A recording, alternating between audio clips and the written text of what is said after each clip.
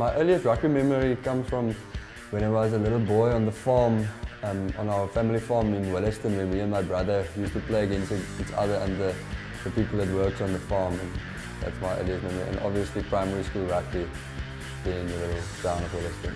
Uh, to play for Western Province, it's a great honour. I, I think um, every schoolboy in, in the Western Cape dream of it his whole life to um, run out on, on Newlands and to do that in front of 50,000 people is no word to describe it. Superpower, I'll, I'll definitely choose flying. Eh? I, start, I started my rugby playing fly up for for um, town I, I came from and then I played um, fly for on the 30. Then I grew a lot so I started playing lock and I come to Paarl Boys in, in Paarl and I played lock there. I played Craven Week.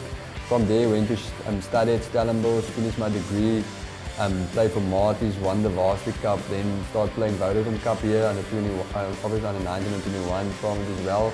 Played Vodacom Cup, and then I was selected for the Currie Cup team, and, and the year after that I played for the Stormers, so that the teams I represented till now. Outside rugby, I, I, I enjoy the farm life a lot, so I enjoy going to the farm. Uh, I'm still a student, so I'm, i I, studied uh, in my off time also a bit to work on my career after rugby as well. I studied in Stellenbosch, I've studied um, BCom accounting, I finished that.